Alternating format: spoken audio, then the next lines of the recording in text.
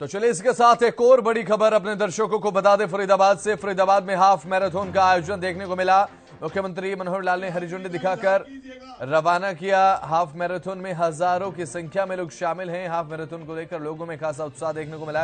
ये उस समय की तस्वीर है जब मुख्यमंत्री मनोहर लाल फरीदाबाद में हाफ़ मैराथन में शामिल हुए और साथ ही शिरकत करने के साथ साथ हरी झंडे दिखाकर लोगों को रवाना किया। हज़ारों की संख्या में एक बहुत बड़ा जन सैलाब देखने को मिला और झंडे दिखाते हुए मुख्यमंत्री मनोहर लाल नज़र आए, रवाना किया हाफ़ मैराथन को और हज़ारों की संख्या में धावक आपको नज़र आ रहे हैं।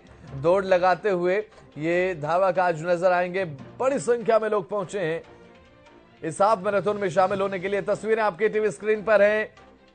अति उत्साह के साथ लोग इस हाफ़ मैराथन में शामिल हुए और साथ ही शामिल हुए मुख्यमंत्री मनोहर लाल।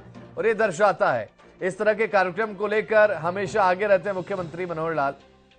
तमाम ऐसे कार्यक्रमों में शिरकत करते रहते हैं। इसी कड़ी में आज फरीदाबाद में हाफ़ मैराथन में शामिल होने के साथ साथ हरी झंडी दिखाकर उसे रवाना भी किया।